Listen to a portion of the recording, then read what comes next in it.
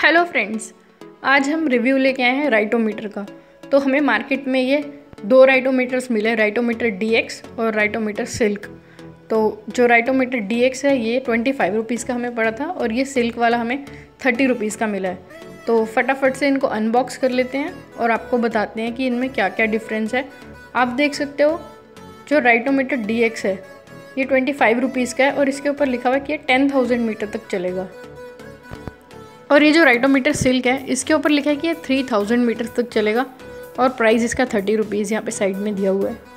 तो आप देख सकते हो।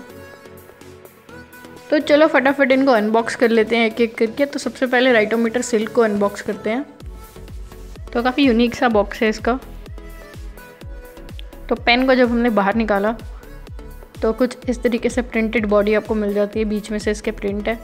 और यहाँ पे आपको फ्लेयर राइटोमीटर सिल्क ब्रांडिंग मिल जाती है कैप के ऊपर भी। तो बॉडी इसकी सेम ही है, जैसे कि राइटोमीटर में हमें पहले देखने को मिलती है।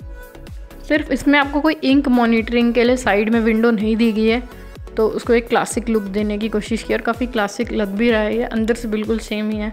तो ओपन करके देखते हैं इसको। तो रिफ़िल भी बिल्कुल इसकी नॉर्मल राइटोमीटर जैसी ही है सेम टू सेम दिखने में भी कोई डिफरेंस नहीं है। सिर्फ़ डिफरेंस इतना है कि इस पेन के ऊपर लिखा है कि ये थ्री थाउज़ेंड मीटर्स चलेगा। तो मेरे अकॉर्डिंग ये थोड़ा सा ज़्यादा स्मूथ होना चाहिए। जो नॉर्मल राइटोमीटर आते हैं, उस पर थोड़ा सा प्रेशर लगाना पड़ता है। और जो इंक होती है राइटोमीटर की, वो कुछ टाइम के बाद जो है, वो फेड होने लगती है लाइट होने लगती है। तो अभी यूज़ करके इसको पता चलेगा कि इसमें और जो नॉर्मल राइटोमीटर है, उसमें कोई डिफरेंस है या नहीं। तो राइटोमीटर डी एक्स आप देख सकते हो नॉर्मल जो क्लासिक राइटोमीटर होता है, वैसे ही बॉक्स में आता है।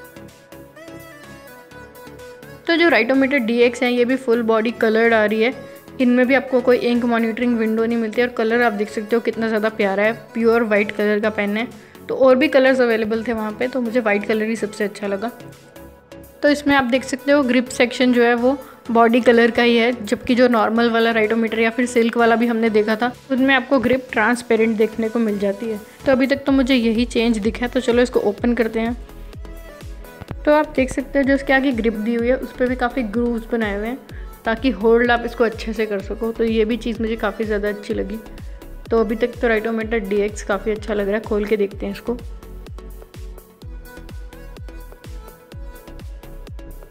जैसे कि आप देख सकते हो टोटली वही सेम रिफिल क्लासिक राइटोमीटर वाली टेन थाउज़ेंड मीटर्स ये चलेगा, इसके ऊपर लिखा हुआ है। तो चलो फटाफट दोनों पेन से लिख के देखते हैं कि हमें दोनों में से कौन सा पसंद आता है। ये वाला थ्री थाउज़ेंड मीटर्स है, यहाँ पे आप देख सकते हो, और ये वाला टेन थाउज़ेंड मीटर्स है। तो चलो देखते हैं इन दोनों की बैटल में कौन जीतता है।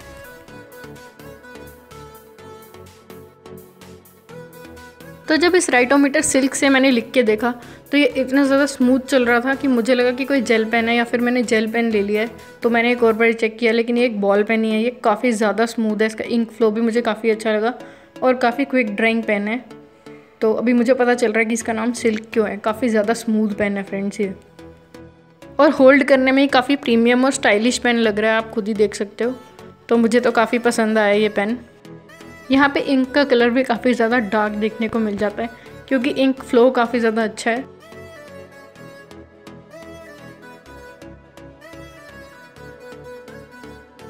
तो जब हमने राइटोमीटर डीएक्स से लिख के देखा तो हमें काफ़ी ज़्यादा प्रेशर अप्लाई करना पड़ रहा था।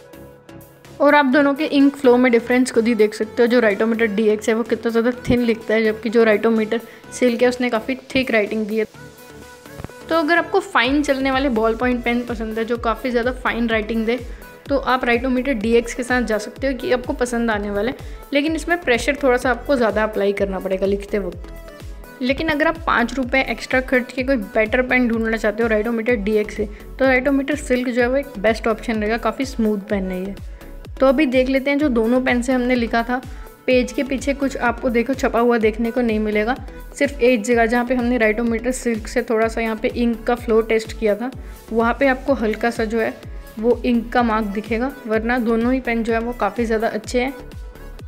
तो फ्रेंड्स, अगर आप ऐसे ही पेन की कंपैरिजन वीडियोस और देखना चाहते हो तो चैनल को आप सब्सक्राइब कर लेना।